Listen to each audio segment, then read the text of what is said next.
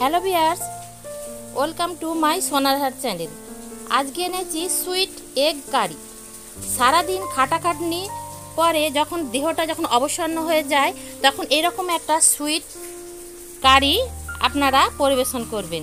তাহলে চলে আসুন। প্রথমে কড়াই সর্ষের তেল দিয়েছি, দিয়ে তাতে এলাচ আর দারুচিনির একটা ফোড়ন দিলাম।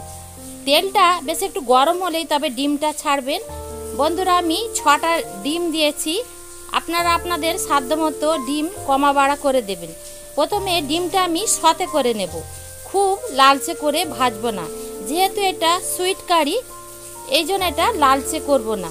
অতএব ডিমটা একটু হালকা রং ধরবে, তখন আমি নুন দিয়ে দেব। নুন দিলে ডিমটা ফাটবে না। এবার একটু সামান্য হলুদ দিলাম। আর কিছু কিন্তু মশলা দেব না। ওই নুন আর হলুদই যথেষ্ট। এটা একরকম খুবই কুঁড়ে তরকারি, অর্থাৎ আপনি যখন সারাদিন খাটাখাটনিতে শরীর অবসন্ন বা নিস্তেজ হয়ে যাচ্ছেন, তখন রাত্রিবেলা রান্না করতে হবে, তখন আপনার আলসেমি ঢাকার জন্য এই রকম একটা তরকারি করে ডিনার শেষ করবেন। এবার আমার ডিমটা হালকা ভাজা হওয়ার পরেই আমি এইটা যেটা দিলাম, ক্রিম দিলাম। চিজ ক্রিম দিলাম। দেখুন, এটা কতটা দইয়ের মতো দেখতে, কিন্তু এটা দই নয়, এটা আস্তে আস্তে ডিমের সঙ্গে গলতে শুরু করছে। দেখুন, চিজ ক্রিমটা গলে গেছে। গলে গিয়ে এটা ডিমের সঙ্গে একদম মিশে গেছে। এবার এইটা যখন একটু ফুটবে, এমন কিছুই এটা দেব না, খুবই সোজা, একটু হালকা দুধ দেব।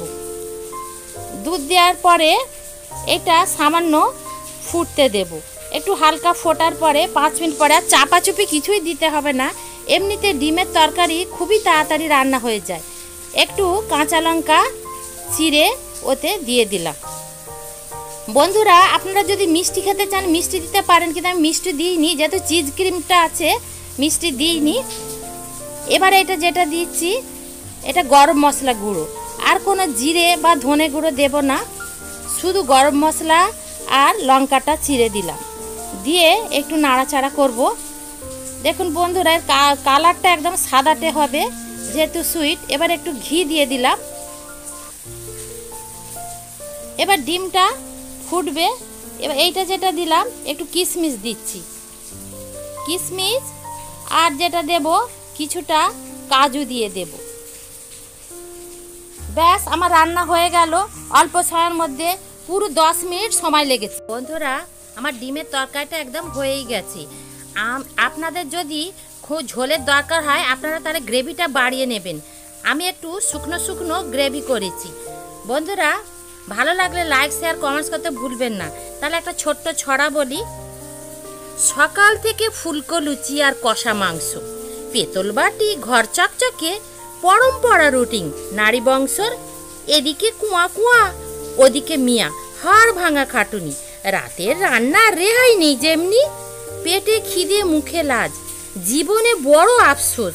চাকরি করো বা সংসারে মেহনতে, তবু দেবে দোষ। এভাবে সহজেই ডিমের কারি দিয়ে ডিনার করো শেষ। সোনার হার প্রিয়র বন্ধুদের জন্য ভাবে অশেষ। বন্ধুরা, এই ডিমের কারিটা বাচ্চাদের খুব প্রিয়। বড়দেরও কম প্রিয় নয়। এটা রুটি দিয়েও খেতে ভালো লাগে বা পোলাওয়ের সঙ্গে বা সাদা ভাতে আরও ভালো লাগবে। ভালো লাগলে আপনারও এরকম একটা ডিমের একটা ডিশ করে খাবেন। ভালো থাকবেন, সুস্থ থাকবেন। আবার পরের রেসিপিতে দেখা হবে। ধন্যবাদ।